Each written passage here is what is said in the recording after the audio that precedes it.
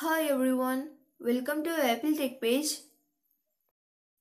In this tutorial, I will show you how to fix Safari slow to load on iPhone and iPad and how to speed up Safari.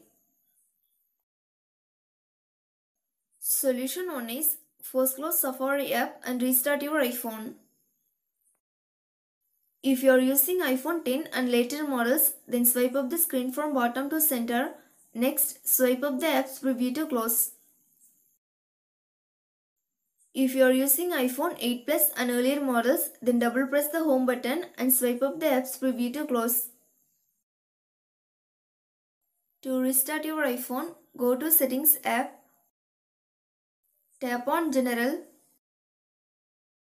next tap on Shutdown at bottom. Now drag the slide to power off slider to turn off your iPhone. Once you turned off, wait for a few seconds and turn on your iPhone again. Solution 2 is clear history and website data in Safari. Launch Settings app.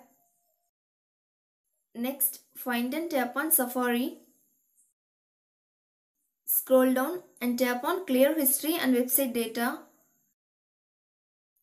A pop-up will ask you to confirm this action. Tap clear history and data to confirm. Solution 3 is close unnecessary tabs in Safari. Open Safari app on your device. Tap two square icon from the bottom right corner. Tap into icon to close the tab or swipe left the screen to close the tab. Solution 4 is turn off Safari suggestions and JavaScript. Tap on settings icon from the home screen.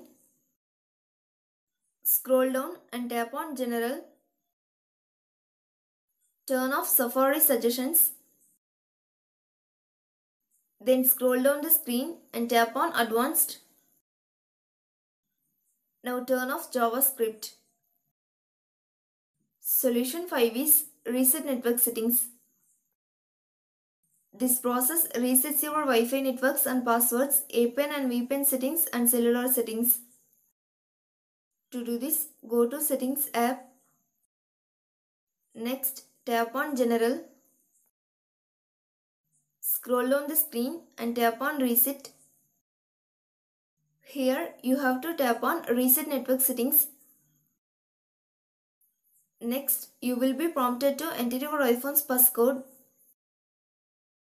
In the pop-up window, tap Reset Network Settings to confirm this process. Solution 6 is check for software update. Connect your iPhone to Wi-Fi. Now open Settings app. Next, tap on General. Tap on Software Update. If software update is available, tap Download and install.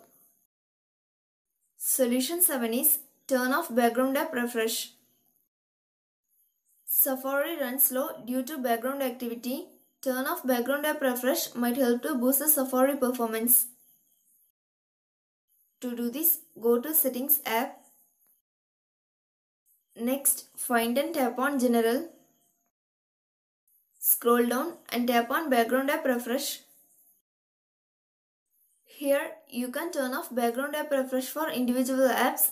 If you want to turn off entirely, tap background app refresh and select off.